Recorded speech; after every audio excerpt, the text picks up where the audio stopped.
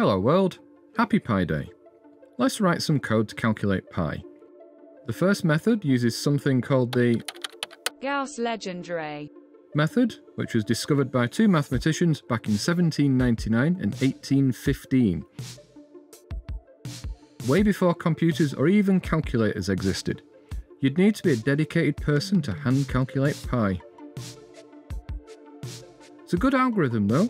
It doesn't need to store the final value of pi and can just keep on spitting out digits one by one.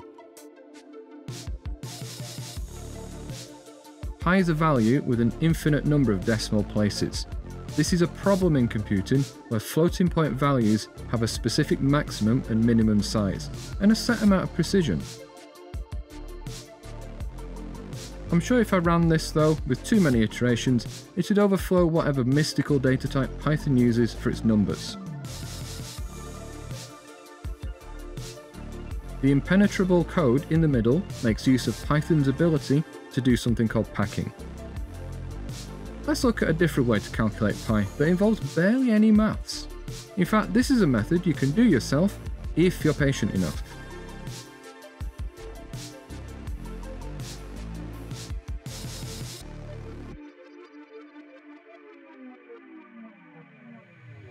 Draw a square. Inside the square, draw an arc. Now randomly plot points inside the square. You do need to plot quite a lot of points, maybe at least 10,000, or 100,000, maybe a million.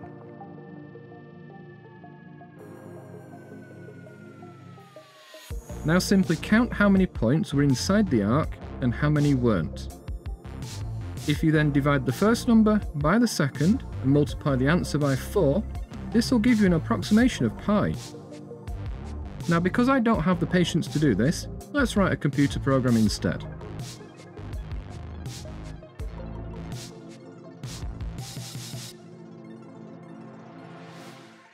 This kind of statistical technique is known as a Monte Carlo method and involves random sampling of data to approximate a solution that otherwise might be difficult or impossible to model mathematically.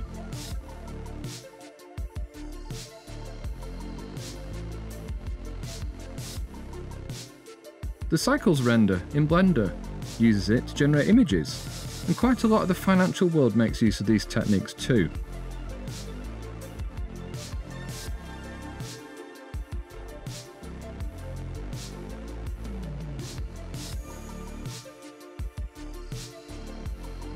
And if you want another approximation of pi, 22 divided by 7, it's close enough.